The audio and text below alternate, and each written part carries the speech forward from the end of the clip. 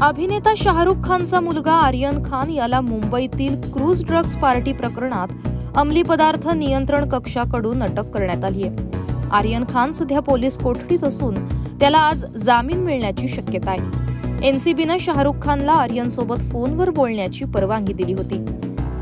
चौकशी दरम्यान आणि वडिलांशी फोनवर बोलताना देखील आर्यन सातत्यानं रडत असल्याची बाब समोर आली आहे. गेल्या चार वर्षापासून ड्रग्ज घेत असल्याची कबुली आर्यननं दिल्याची माहिती आहे.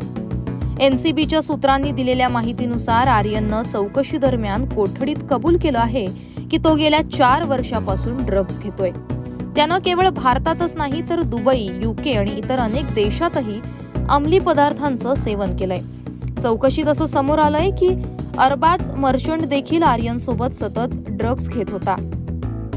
चौकशी दरम्यान आर्यन सतत रडत असल्याचं देखील समोर आलंय. एनसीबीनं आर्यनला फोनवर शाहरुखशी बोलण्याचीही मुभा दिली होती.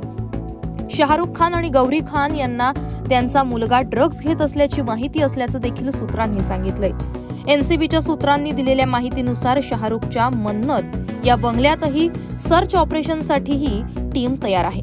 एनसीबीच्या सूत्रांनुसार अटक प्रक्रियेनंतर एनडीपीएस कायद्यातील तरतुदींनुसार प्रत्येक आरोपीच्या घरात शोध मोहीम घेण्याचीही तरतूद आहे.